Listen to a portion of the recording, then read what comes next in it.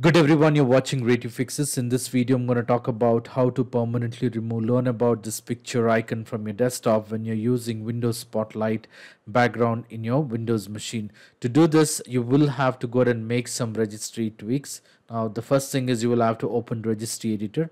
To open registry editor in the search window, you may go ahead and type regedit. You will see the best match for registry editor. Open it in case if you're getting a user access control prompt, you may click on yes or continue on the screen. Now, once you have the registry editor open, you will have to, you will see the registry key uh, with this order. Now, before you make any registry changes on your computer, please make sure to follow the steps correctly because in case if you make any incorrect changes, there are chances that some of the features or the application may not work. And there are also chances that your computer might go to no boot. So make sure you follow the steps correctly. Now, once you have the registry editor open, uh, what you need to do is make sure the registry keys are placed in this order. So in case if they are in expanded form, you may go and collapse it by clicking on this arrow. Now, once you have the registry key in this order, all you need to do is you need to go and expand H key current user and then expand software. Under software, you will have to go and expand Microsoft. So it would be in alphabetical order.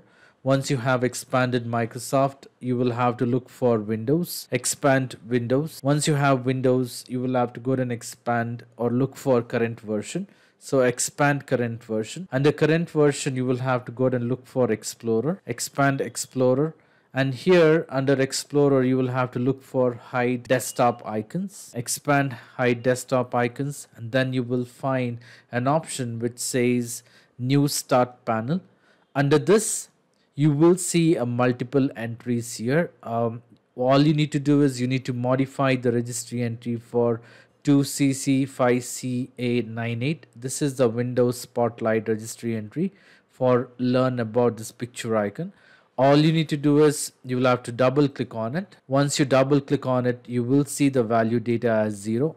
You will have to make the change the value data from zero to one Click on OK and minimize the registry editor. Do a right click, refresh and you would uh, you should not be seeing learn about this picture icon on your desktop. This is one way to remove the learn about this picture permanently from your desktop.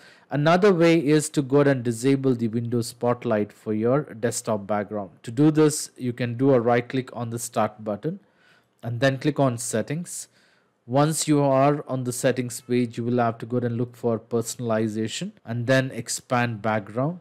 Under background, choose the personalize your background from Windows Spotlight to picture or a slideshow and choose the picture of your choice to change uh, the picture. With this, you should also not be seeing the learn about this picture icon from your desktop. So this is how you can go and disable learn about this picture icon permanently from your Windows 10 or Windows 11. I hope this video was useful. In case if you like this video, please make sure to hit the like button and do not forget to subscribe to my channel. Thank you. Have a great day.